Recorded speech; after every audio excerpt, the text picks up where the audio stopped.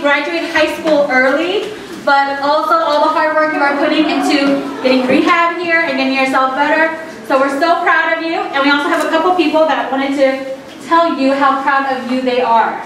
Hi David, Mr. Freeman. Just want to tell you how proud of you I am. I know it's not been easy for you, but you have graduated early.